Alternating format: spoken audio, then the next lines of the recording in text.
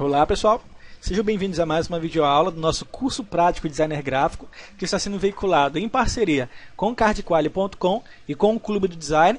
Eu sou Lilt Christian e hoje nós vamos aprender mais algumas ferramentas e alguns truques do nosso primeiro programa do curso, o programa de edição vetorial CorelDRAW X6.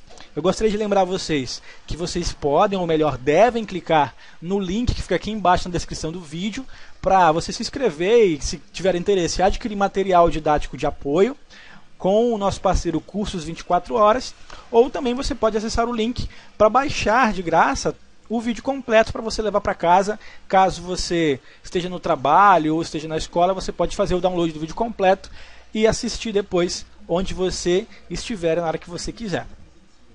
Bom, gente, no vídeo de hoje eu vou mostrar para vocês alguns recursos fundamentais que serão muito utilizados durante a elaboração de qualquer projeto dentro do CorelDRAW. Primeiro, a gente vai abrir o programa, já estou com ele aberto aqui, e eu vou criar um novo documento. Lembrando que nós já alteramos algumas configurações do programa nas primeiras aulas. O CorelDRAW está sempre abrindo com a tela em branco, vazia no caso, e você sempre é, está clicando no botão para criar um novo arquivo, um novo documento em branco.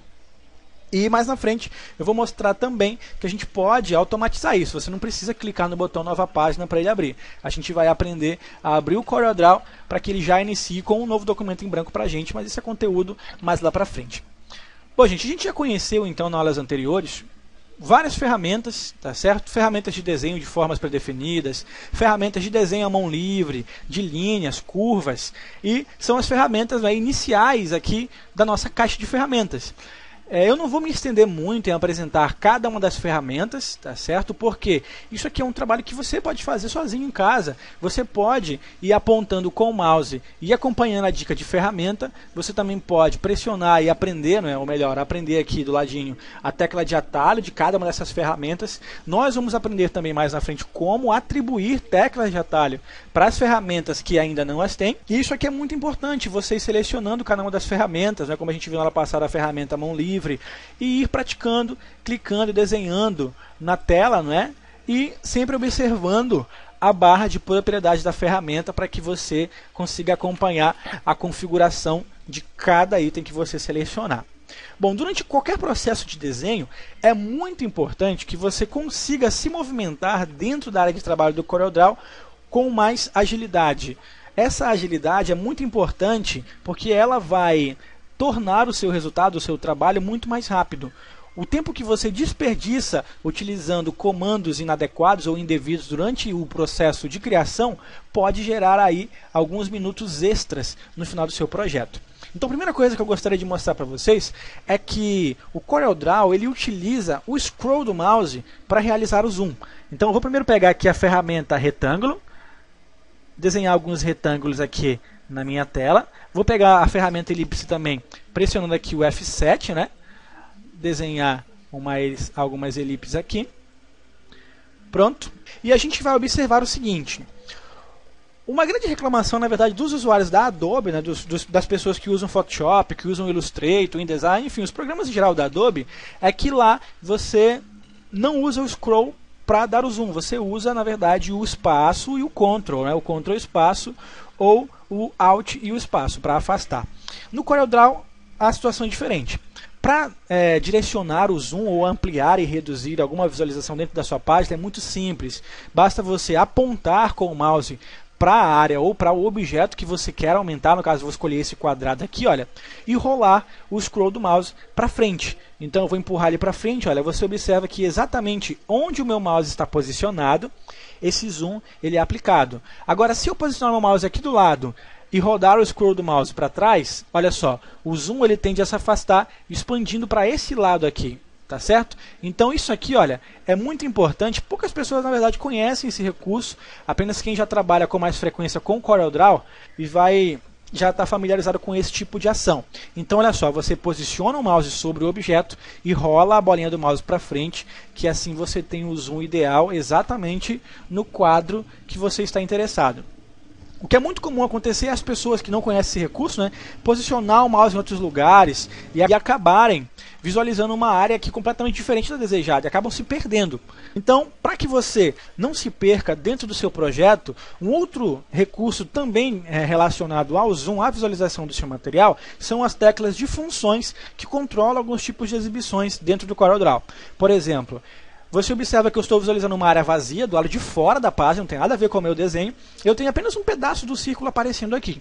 Na criação ou desenvolvimento de qualquer projeto, você pode a qualquer momento pressionar a tecla de função F4. Dessa maneira, ao pressionar o F4, o CorelDRAW automaticamente enquadra todos os objetos que você tem dentro dessa tela. Então não importa se os objetos estão, deixa eu arrastar ele aqui para fora da página, se eles estão fora da página, afastar o zoom e colocar mais para longe, Tá? Então não importa. Se você visualizar qualquer área da sua tela usando o zoom e você pressionar o F4 no seu teclado, o CorelDRAW sempre vai mostrar para você todos os objetos que estão exibidos na tela. Um outro atalho também nesse, nesse quesito de, de função é a tecla F3, que vai afastando gradativamente o seu zoom. Pressionando F4 novamente, ele, deve, ele vai novamente enquadrá-los. Um recurso aqui que eu achei esquisito no CorelDRAW X6 é que o F2, que é essa tecla que eu estou pressionando agora, ele deveria fazer o inverso do F3, que afasta. Né? Deixa eu apertar o F4 aqui. Então o F2 ele deveria aproximar o zoom gradativamente, mas por algum motivo, ao pressionar o F2, ele simplesmente seleciona a ferramenta zoom para que você possa dar um clique e aumentar a área que você clicou. Então, nas versões anteriores, o F2 ele vai aproximando, o F3 vai afastando e o F4 vai enquadrar. Lembrando que você pode pressionar o espaço para selecionar a ferramenta seleção a qualquer momento. A ferramenta Zoom pode ser acionada pressionando a letra Z no seu teclado. E como toda ferramenta, ao acioná-la você tem opções relacionadas a essa ferramenta na barra de propriedades. Então, além das opções padrão, como ampliar e reduzir, Tá? Você pode selecionar aqui para reduzir a visualização e você pode aproximar. Ele também conta com algumas opções predefinidas. Por exemplo, você pode aumentar o zoom para todos os objetos, que é a mesma visualização do F4. Você pode aumentar a visualização para o objeto selecionado. Nesse caso, eu vou selecionar aqui um círculo. Novamente vou apertar aqui a letra Z para pegar a ferramenta Zoom e vou clicar, olha, Zoom para seleção. Você pode observar o atalho de teclado, Shift F2. Então você pode clicar aqui, não é? Ou você pode pressionar o Shift F2 que o zoom é enquadrado apenas no objeto selecionado ou nos objetos, caso você tenha mais de um selecionado. Entre essas outras opções, nós temos aqui o zoom para a página, que vai mostrar é, e enquadrar a página que você tiver dentro do CorelDRAW. Algumas opções também relacionadas à largura da página e à altura da página. Lembrando que cada uma dessas opções pode ser acionada utilizando, né, algumas delas já vêm configuradas, tá certo? Com os atalhos de teclado e depois, como eu falei no começo desse vídeo, você vai poder ou você vai aprender a atribuir as suas próprias teclas de atalho para cada um desses recursos. Algumas dessas opções, como a opção para aumentar e diminuir, podem ser acionadas através do teclado, como você já aprendeu. Mas com a ferramenta Zoom selecionada, você pode, por exemplo, pressionar a tecla Shift e você vai conseguir diminuir o zoom. Soltando o Shift, você vai ter a tecla Zoom, ou melhor, a ferramenta Zoom norma, normalmente para você ampliar seus objetos clicando. Vou pressionar o F4. Um outro recurso de zoom que também é válido é ou de clicar e arrastar. Você pode, por exemplo, enquadrar esses três objetos clicando e arrastando com a ferramenta Zoom, a fim de abrir um quadro, onde esses objetos serão enquadrados e visualizados perfeitamente dentro do quadro, claro, que você projetou anteriormente. Pressionar o F4 novamente. Esses recursos podem parecer um tanto quanto básicos demais, mas se você conseguir controlar com perfeição o nível de ampliação de cada detalhe, de cada área do seu projeto durante o processo de criação, você consegue economizar muito tempo e consegue desenvolver o seu trabalho de uma maneira muito mais fluente, muito mais rápida e, claro, evita transtornos, né, é, esquentando a cabeça com os zooms aplicados de maneira indevida. Deixa eu aumentar aqui esses objetos. Faz parte também dessa questão de visualização a navegação correta dentro do seu material. É muito comum as pessoas utilizarem lá no, no, Photoshop ou no Illustrator a ferramenta Hand, que é uma mãozinha, nesse caso, no CorelDRAW, é representada pela tecla de atalho H. Você observa que ela está aqui nesse grupinho aqui, tá? a ferramenta enquadramento ou Hand. E com essa ferramenta você consegue olha, clicar e arrastar a fim de visualizar áreas diferentes do seu material, do seu projeto.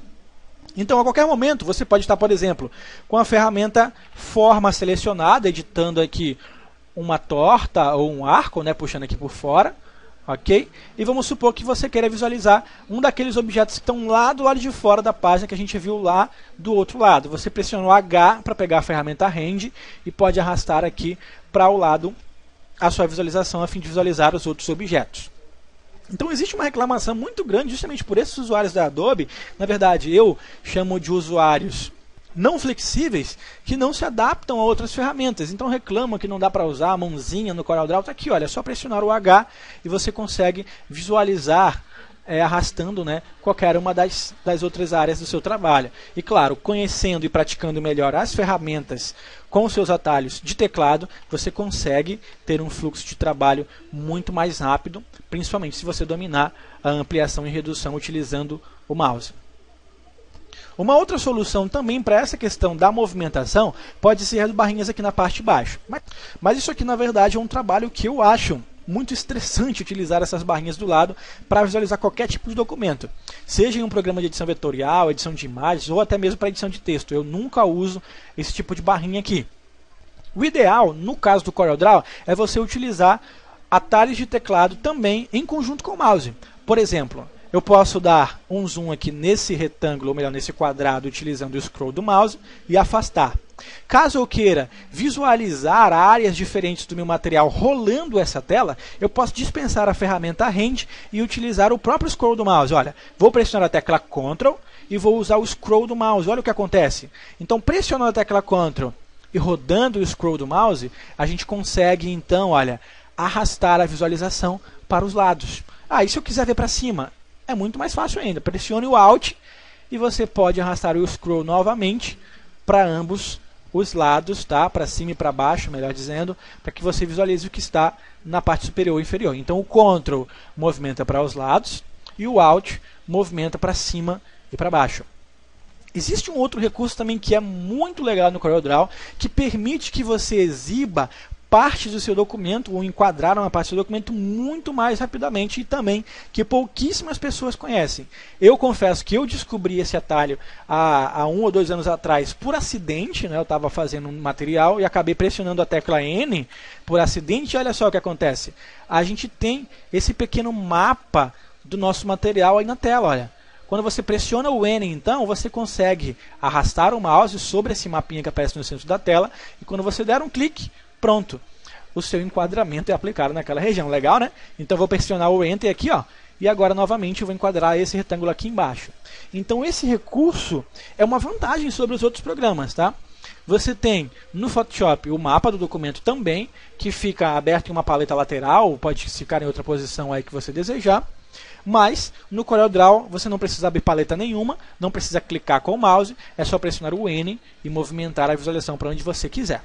Mesmo assim, com todas essas dicas que eu estou mostrando para vocês, você se sentir meio desconfortável quanto à aplicação de zoom utilizando o scroll do mouse com o CorelDRAW, você pode alterar essa definição.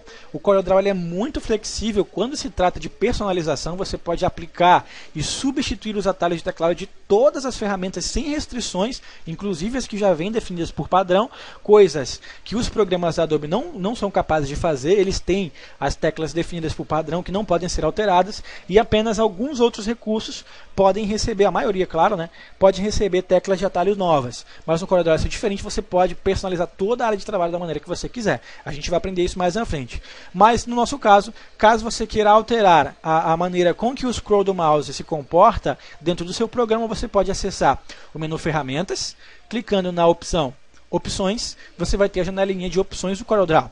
Basta você clicar na opção Exibição e você vai observar aqui embaixo, olha, a opção Ação Padrão para o botão de rolagem do mouse. Você pode selecionar entre rolar ou zoom. Tá? Eu prefiro deixar no zoom mesmo, deixa eu cancelar aqui, justamente porque você deve se acostumar com outros métodos de trabalho, não só os habituais que você já está acostumado. Então é muito importante você estudar, praticar e se adaptar a novos fluxos de trabalho tá certo? Para que você seja um profissional mais completo, mais flexível, independente do tipo de aplicativo que você esteja usando. Então, gente, é muito importante esse tipo de prática. Então, eu vou deixar essa aula como uma aula prática para que vocês possam exercitar durante todo o nosso projeto. Eu ainda vou continuar relembrando esses procedimentos durante é, os nossos desenvolvimentos de materiais, nossos projetos completos que vão surgir aqui no nosso, no nosso curso. E eu gostaria de mostrar um recurso que a gente vai utilizar nas próximas aulas, que é o próprio sistema de ajuda do CorelDRAW. Todos os programas, na verdade, eles vêm com um manual interno, onde eles mostram todos os recursos básicos até os mais avançados para a utilização do programa. Por exemplo, no CorelDRAW é, X6, quando você pressiona a tecla F1, pode ser no Photoshop, pode ser no CorelDRAW X5, X4, tanto faz, Todos os programas, aliás, inclusive outros como Office, enfim, todos os programas, ao pressionar a tecla F1, eles abrem o arquivo de ajuda do programa, que é justamente onde você pode acompanhar todos os procedimentos para se executar ferramentas, passos, efeitos, tudo que você pode executar dentro de um programa está armazenado dentro do arquivo de ajuda. Claro, é um processo teórico, mas eles mostram direitinho cada um dos passos para a utilização de todas as ferramentas dentro do programa. E eu vou utilizar o arquivo de ajuda do CorelDRAW para criar uma grade de aula. Então nós vamos conhecer, claro, na prática, praticando cada um dos projetos, tá? cada um dos passos, é, mas eu vou utilizar o manual do CorelDRAW como um guia para mim é, definir um cronograma para o nosso curso, para a gente não ficar vendo é, aulas perdidas ou recursos em momentos que não são apropriados. Então eu vou usar é, esse arquivo aqui. Então se você tiver o CorelDRAW X4, X5, X6, enfim, qualquer outra versão do CorelDRAW, aperte o F1 aí no seu teclado com o programa aberto e você vai visualizar o arquivo de ajuda.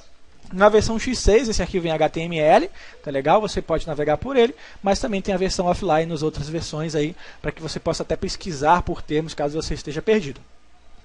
Uma coisa legal também que vem no CorelDRAW X6, eu também já vi no CorelDRAW X4 e X5, é o manual de utilização do programa. Na verdade, é um manual bem básico. Ele já está disponível na instalação do programa.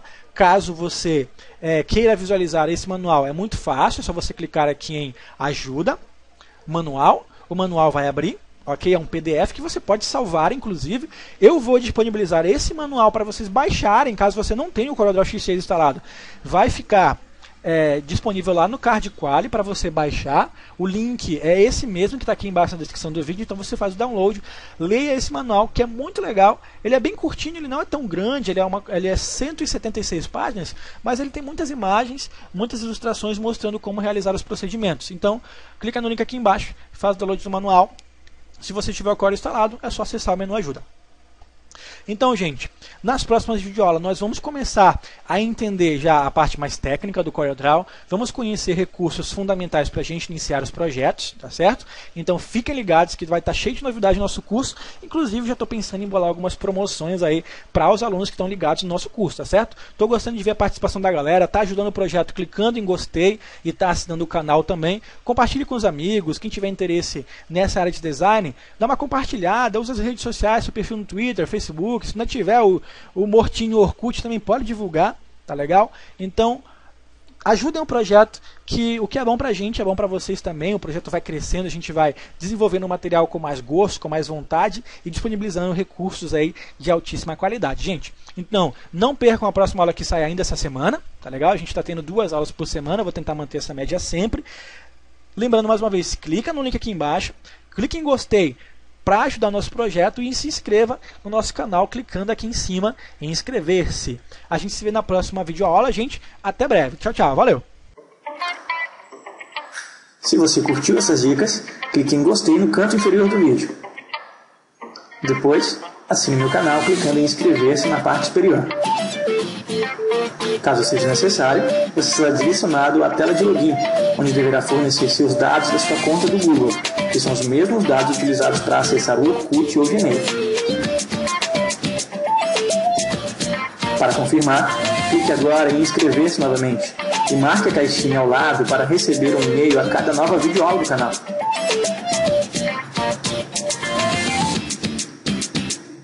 Também será preciso clicar em gostei novamente para confirmar seu voto. Pronto! Agora você pode acessar de maneira exclusiva todos os vídeos do canal, que podem ser encontrados no botão vídeos que fica ao lado do menor.